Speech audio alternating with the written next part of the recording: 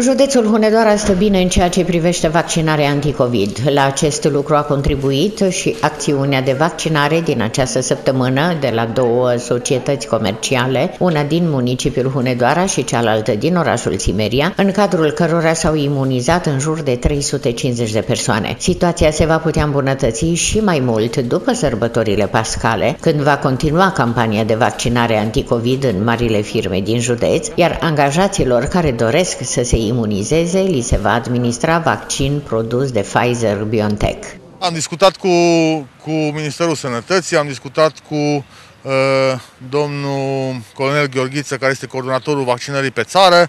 Uh, după sărbătorile pascale uh, luăm legătura cu toate firmele mari, peste 500 de angajați și vom merge la dâns și să le, să-i vaccinăm tot cu vaccin Pfizer.